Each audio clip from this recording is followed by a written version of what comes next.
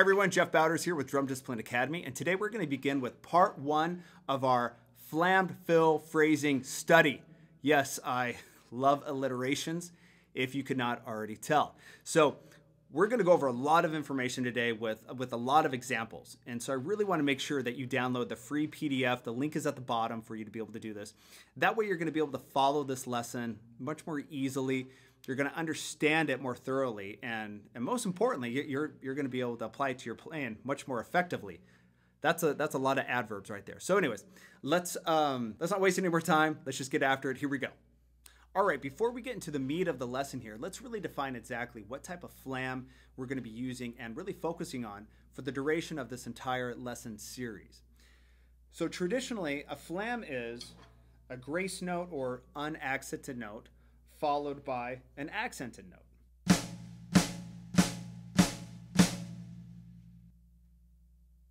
But now, once we start applying the flam to various voices of the instrument, especially if we're going to separate the flam between two separate voices, like a tom and a snare drum, it's advantageous to make both strokes of the flam equally dynamic, basically both accents.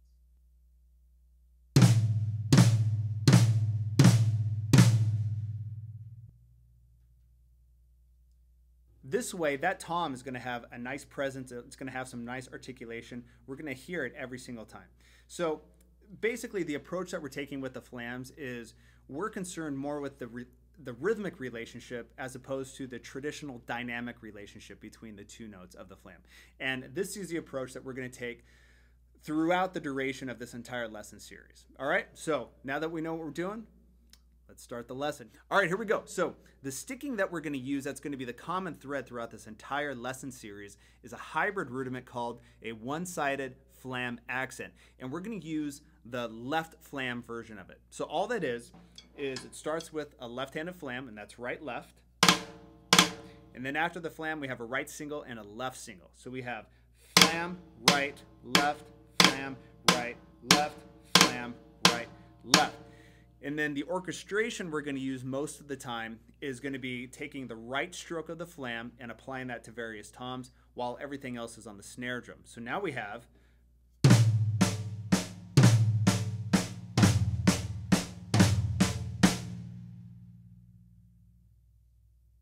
All right, so as you already can figure out, this is a three note phrase, and we're going to apply it to 16th notes.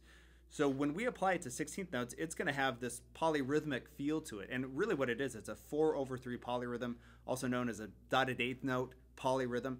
But all it is, it, it, it, it creates this really cool rhythmic tension in the feel or whatever groove or fill that we're trying to play. And we hear this in music all the time. I mean, it's, it's unavoidable. You, you can't hide from it. If you try to hide from it, it'll just say, I will look for you. I will find you I will kill you. okay, so best we just embrace it, accept it, and utilize it to the best of our ability. All right, so let's explore to see how these concepts sound when we apply them to fills. This is going to be exercises 1A and 1B. All right, here we go.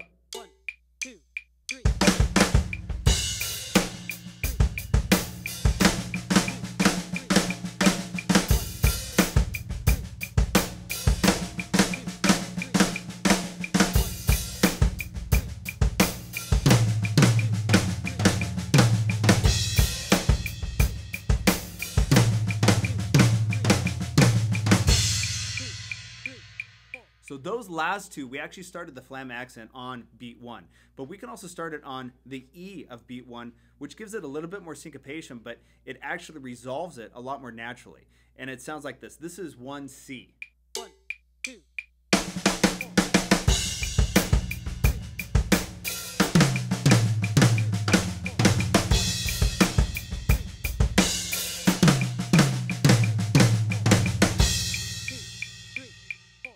now finally, since this is a three note phrase, it has three different starting positions. So the last one, we're gonna start it on the and of beat one. It sounds like this.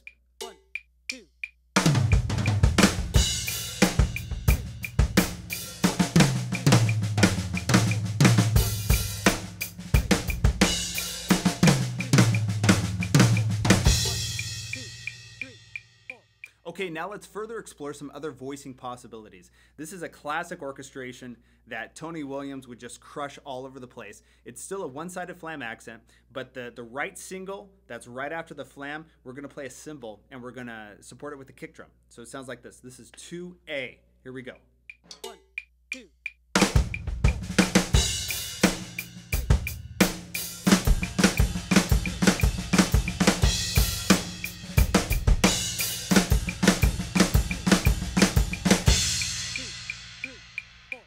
Now let's play the flam with the tom snare orchestration and play it also in those three different positions that we just went over.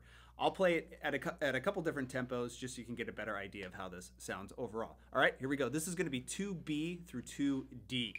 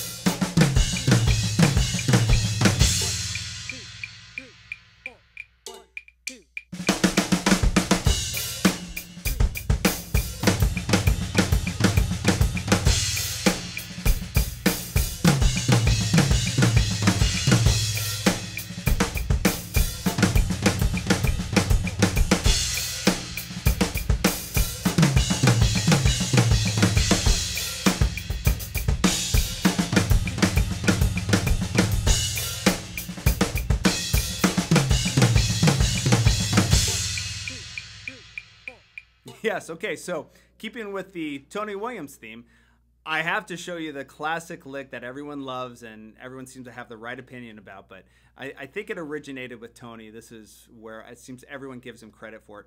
Um, but it falls perfectly within our within our three note flam fill study here, and it's called the bluzda and it's called the bludgeon because that's what it sounds like when you play it. So basically, all it is is we're taking that one-sided flam accent that we've been doing, but the right stroke that follows the flam, we're gonna diddle that stroke. So what we have here is flam, right, right, left, flam, right, right, left.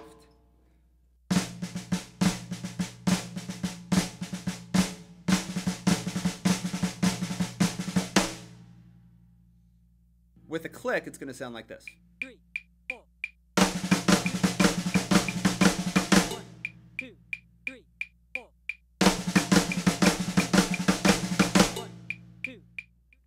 But to make it more practical, we got to give it a little bit more grease. I, I know that's not the most academic term, but it's it's just too stiff right now. We gotta we gotta loosen it up. We gotta open it up a little bit. And the most effective way to do that is spreading out that diddle that's right after the flam. We're, we're gonna open it up a little bit more than than what it's notated, and it's gonna sound like this.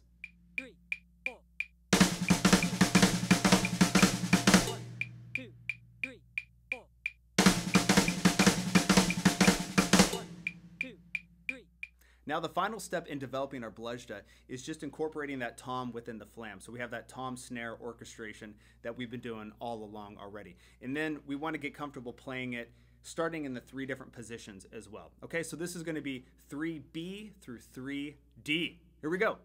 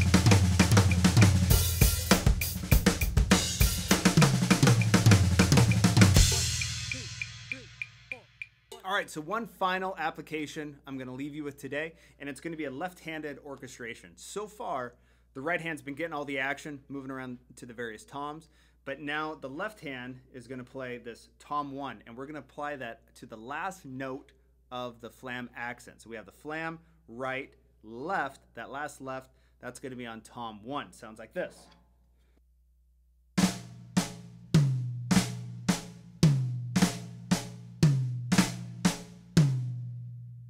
With a click, it's going to sound like this. One, two, three, four. One, two, three, four. One, two, three, four.